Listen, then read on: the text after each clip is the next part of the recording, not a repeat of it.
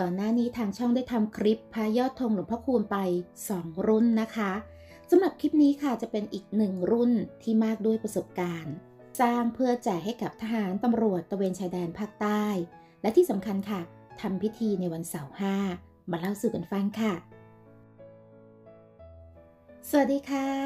พบกับช่องอมูริกุไลเช่นเคยค่ะ ก่อนที่จะไปรับชมรับฟังนะคะ ขอคนละหนึ่งไลค์เป็นกำลังใจในการทำคลิปด้วยนะคะ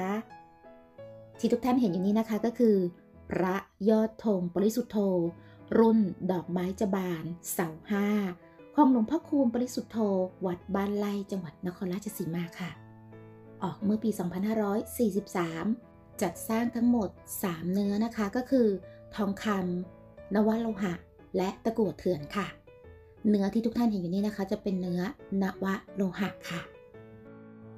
เรามาเริ่มต้นกันที่กล่องขององค์พระนะคะสำหรับพระยอดธงรุ่นนี้นะคะ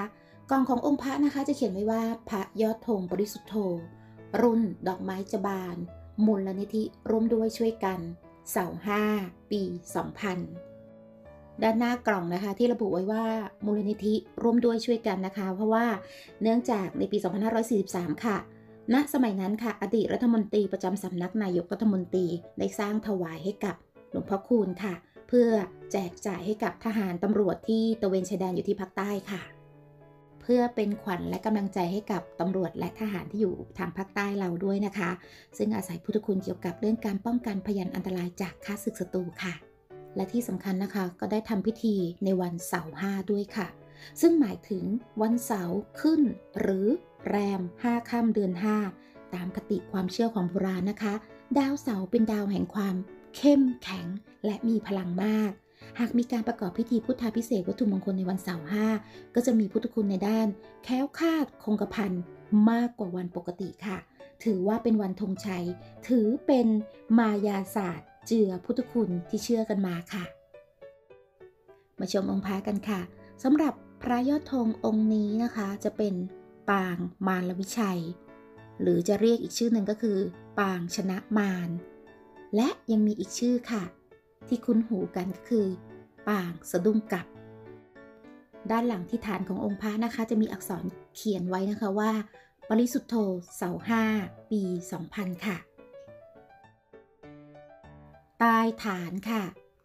ปกติเราจะเห็นการตอกโค้ดไปที่ใต้ฐานใช่ไหมคะแต่ว่าถ้าเป็นรุ่นนี้นะคะจะเป็นการตอกโคดไปที่ก้านขององค์พระค่ะ ก็คือกานของพระยอดธงเลยนะคะ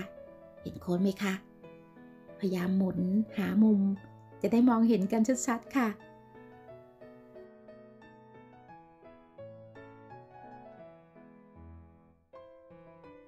มาวัดไซส์ขนาดขององค์พระกันนะคะสำหรับส่วนสูงขององค์พระนะคะประมาณ4เซนติเมตรค่ะ นี่นะคะ4เซนติเมตรความกว้างขององค์พระนะคะ ประมาณ2เซนติเมตรค่ะ ไม่เล็กไม่ใหญ่จนเกินไปนะคะ สุภาพบุรุษอาราธนาขึ้นคอได้ โอเคค่ะ อย่างที่บอกไว้นะคะว่าพระยอดธงเป็นพระในสมัยยุคโบราณ ตั้งแต่สมัยกรุงศรีอยุธยาแล้วค่ะ สร้างขึ้นมาจากผู้ที่นำทัพเพื่อสร้างขวัญและกำลังใจในด้านพุทธคุณก็คือการป้องกันพยันอันตรายจากข้าศึกศัตรูค่ะ ย้อนไปในสมัยกรุงศรีอยุธยานะคะด้วยสถานการณ์ในสมัยกรุงศรีอยุธยาค่ะ ที่จะต้องพบเจอกับภาวะสงครามอยู่ตลอดเวลา ทั้งเพื่อการขยายอาณาเขต และป้องกันการรุกรานจากประเทศเพื่อนบ้าน ทั้งทหารและประชาชนต้องการที่ยึดเหนี่ยวจิตใจ และขวัญกำลังใจในการลบ ซึ่งในปกติค่ะสังคมไทยจะใช้เครื่องรางของขลังต่างๆ เพื่อเป็นวัตถุมงคลป้องกันภัยจากการทำสงคราม และเมื่อมีการทำพิธีกรรมโดยคณาจารย์ที่มีคาถาอาคม และอิทธิฤทธิ์ที่เข้มขลังนะคะ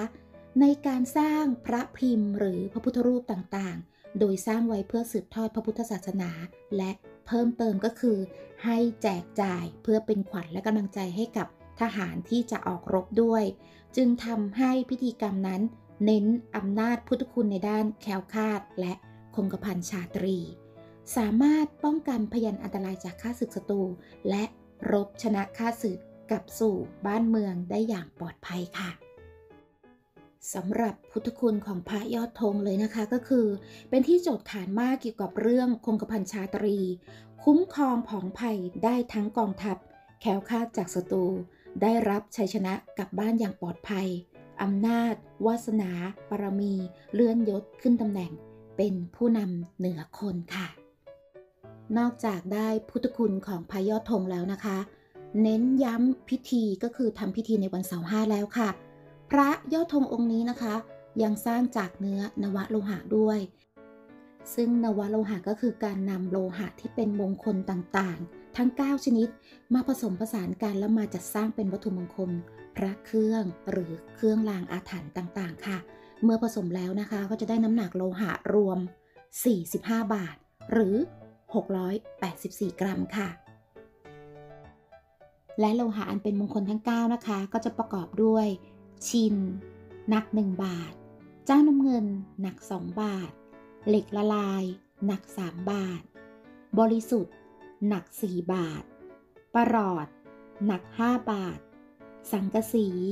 หนัก 6 บาท ทองแดง หนัก 7 บาท เงิน หนัก 8 บาท และ 9 นะคะก็คือ ทองคำค่ะ หนัก 9 บาทค่ะ เมื่อมาผสมกันแล้วนะคะ ก็จะได้โลหะที่เรียกว่านวะโลหะ ซึ่งมีความเชื่อกันว่านะคะนวะโลหะเป็นเหล็กไหลชนิดหนึ่งที่มีอิทธิฤทธิ์ในตัว แม้จะไม่ได้รับการปลุกเสกก็ตาม สามารถช่วยป้องกันสิ่งชั่วร้ายอัปมงคล ขับไล่พูดผีปีศาจสามารถแก้และล้างอาถรรพ์ได้ และยิ่งได้รับการปลุกเสกจากครูบาอาจารย์ ซึ่งเปลี่ยนไปด้วยศีลและพุทธาคมด้วยแล้วนะคะ พุทธคุณก็ยิ่งเพิ่มพูนมากยิ่งขึ้นค่ะ เรียกได้ว่าครอบจักรวาลเลยค่ะ และนี่ก็คือเรื่องราวดีๆ ของพายอดธงปริสุทธโธรุ่นดอกไม้จบาน ของหลวงพ่อคูณวัดบ้านไร่จังหวัดนครราชสีมา ซึ่งออกเมื่อปี 2543นอกจากจะได้พุทธคุณของพระยอดธงแล้วนะคะ ยังเพิ่มความเข้มขลังมากขึ้น เพราะว่าทำพิธีในวันเสาร์ห้า และที่สำคัญค่ะ พระองค์นี้เป็นเนื้อนวโลหะ โลหะอันเป็นมงคล 9 อย่าง ที่ทางช่องเรานำเล่าสู่กันฟังในวันนี้ค่ะ ถ้าหากว่าชื่นชอบเรื่องราวเกี่ยวกับวัตถุมงคล พระเครื่อง เครื่องรางและของขลังแบบนี้นะคะ